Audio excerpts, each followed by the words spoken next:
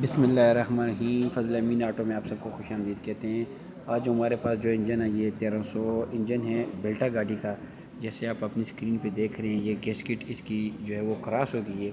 ये आप देख क्रॉस होने की वजह से ये देखें आप, इसके जो है ये गैसकिट मारी गई है। और ये जैसे मैंने आपको पहले विज़ल की वीडियो बनाई थी उसमें जो है थर्मोसेट वाल जो था, वो जाम हो गया था। ये देखें आप जब इंजन की, इसका जो पूरा हेड है, इसकी भी हम फेजिंग करेंगे। फेजिंग देखें फेजिंग करके इसकी हम गैसकेट नहीं डालेंगे। ये वीडियो बनाने का मकसद ये है कि ये गर्मियों के दिन हैं। आप अपनी गाड़ी में जो है ये थर्मासेट वाल का अगर इंडिकेटर आ जाए चेकलेट आ जाए तो वो चेक किया करें और रेडिएटर की सफ़ाई किया करें और फ़ैन जो है इसका आ, वो चेक किया करें कि प्रॉपर काम कर रहा है या नहीं। पानी इसका चेक किया करें क्योंकि ये पानी की ये देखें पानी की कमी की वजह से भी ये इशू होता है। तो गर्मी है एसी लगाते हैं सब।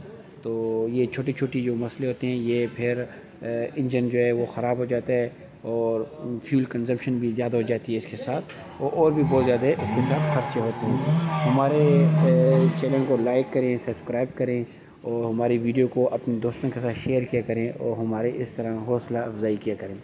हमारे वीडियो बनाने का मकसद ये है कि आप ये जो छोटे छोटे जो हैं गाड़ी के जो मसले मसाइल हैं, वो आप और ख़ुद घर बैठे भी इनका मसले का हल निकाल सकें। पानी चेक किया करें रेडिएटर की सफ़ाई और गाड़ी के जो है वो थर्मोसेट वाल की अगर इंडिकेटर आ जाए तो उसको टाइम पे आप मिस्त्री को चेक करवाएँ और जो गाड़ी का फ़ैन वगैरह है उसको लाजमी चेक किया करें। वीडियो देखने का बहुत शुक्रिया। ये पंखे के जो अक्सर कार्बन बुश जो हैं वो ख़राब हो जाते हैं, जिसकी वजह से इसकी स्पीड कमज़ोर हो जाती है। ये लाजमी चेक किया करें। शुक्रिया।